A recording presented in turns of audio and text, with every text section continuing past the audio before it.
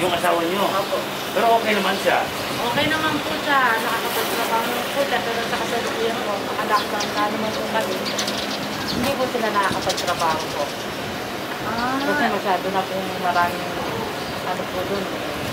Na mga casualties na. naasikas naman po siya ng employer niya.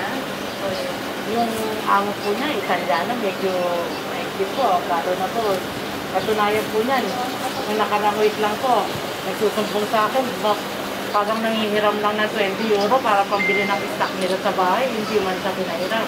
Kaya iniisip ko rin po siya doon, kung mas mahirap po tayo rito, mas mahirap po sila doon. Talaga pong magkasakit na po kami ng medical niya. Ito sa, Nahirapan po sila ngayon doon. yung kalusugan po niya. Okay naman po yung ano po niya, yung health po niya. Yung, nung nakaraan po, medyo nung wala po po yung COVID-COVID na yan, siya talaga. Pero yung mga okay naman po siya.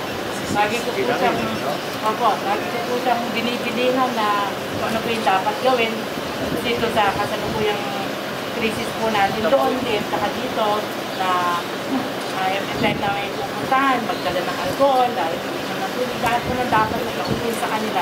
Talagang binibili. Matagal-tagal na po siya doon, kaya lang. Nagkasunod-sunod po yung dahil kaya medyo ano na po, matay yung mga kapatid. Tama natin ang OWA, no? At uh, meron tayong kadap na family. Tama-tama po siguro yung isang ah, bag na bigas. Ano? Tapos, Saka yung mga kwan. And then, papasyalan din po kayo ng ating kapulisan dito pagka mapansilan. Opo. Opo. okay, sabihan din po yung asawa niya, ma'am, kung meron pa silang ibang mga concern, magpag-ugnayan po sa Opo. Kung mahirap po tayo dito, mas hirap po sila doon. Katulad po nun, pag natatapat sila sa amo na medyo na kahit pa paano,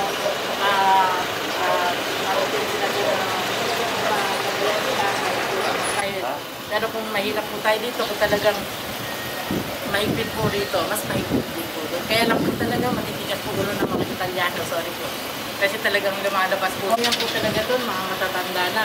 Ayun pa po yung isa, na talagang pinipilit po nila na yung mga Pinoy mismo pumasok para mag-alaga po ng mga matatanda, mga Italiano. Kaya po, siyempre po, yung mga Pinoy, wala po mga choice. Minsan po, yung 1340, Opo, sa mga concern po. Uh, 1340 po. Uh, pag ano po, sasabihan ko po sila doon. Okay, ma'am. Salamat, maraming Ah. salamat, sir. Pagdamutan nyo na yan. Opo. Wala pa po ako sa ito.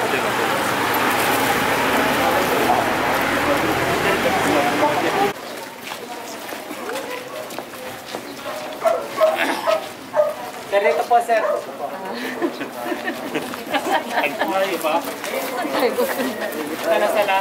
Bakit na po? One, sir. Ito, sir.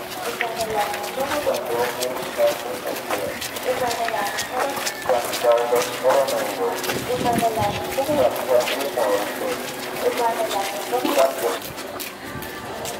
niyo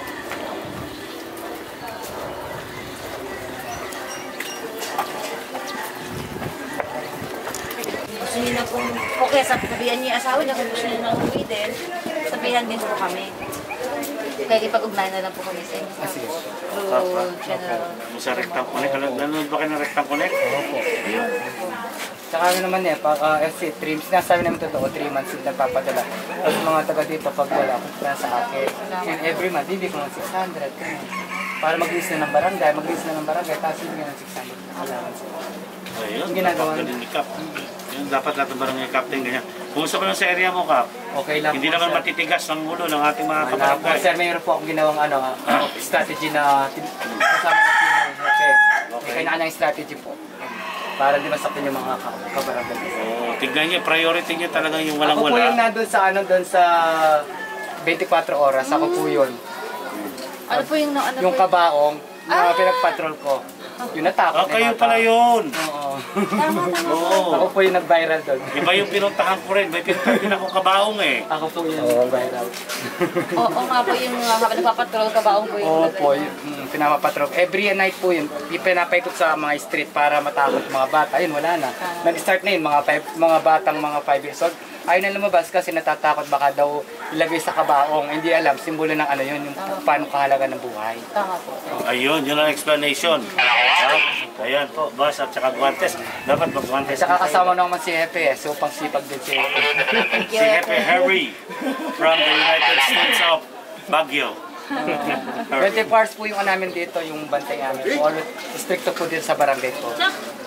Sige, mga road po kasi ako yung sir. ah. Sir, thank you po sir. ha.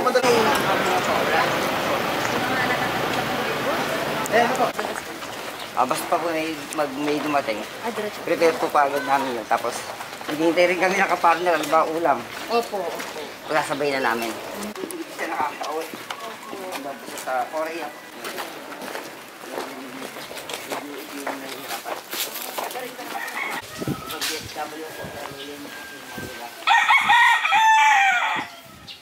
Eh, Nandito po si ano po, Deputy Administrator po ng OWA, si Ma'am Mo. Ah, Edgar Guevara, Ano po bang trabaho niya?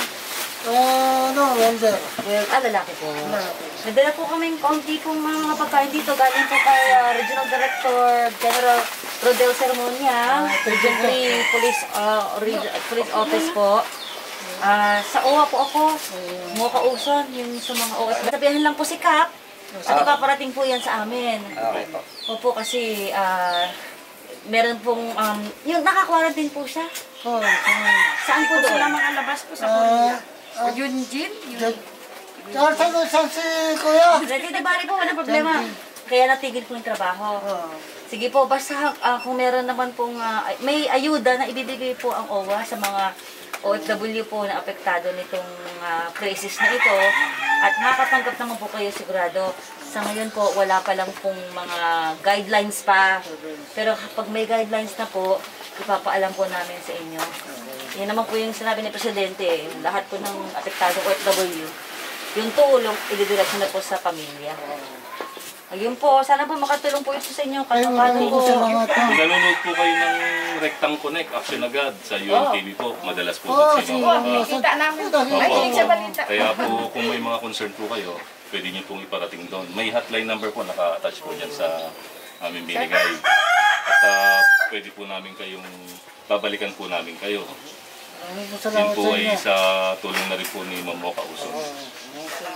Kaya po lagi niyo Action Agad. Araw-araw. Madaling araw pa lang. Na Ito to po sa yung ah, programa po din ng ah, Police Regional Office 3, yung pong Rektang Bayanihan. Kaya po bigat dito sa tulong po nila mamuka, yung iba pa po mga tumutulong sa atin. Madami po siya natutulungan ng mga OFW. Hindi lang po OFW, pati mo yung mga mga tapos palad po natin mga Paano po yung mga stroke? Tulad po. ano? Ito, tsaka po yung ah, mayor, ay talaga pong tinutulungan yung mga katulad niyo po. Matagal na po ba stroke niyo? Ah, almost uh, 7 years to po ang stroke na to. Po. Sila na po mag-aabot sa bahay, na po yung Oh, yun naman po na. Basta na kayo. Balikan po niya kayo. Ano po? Salamat. Ang daming bunga ng bayabas niya, pinagbigan niyo ba?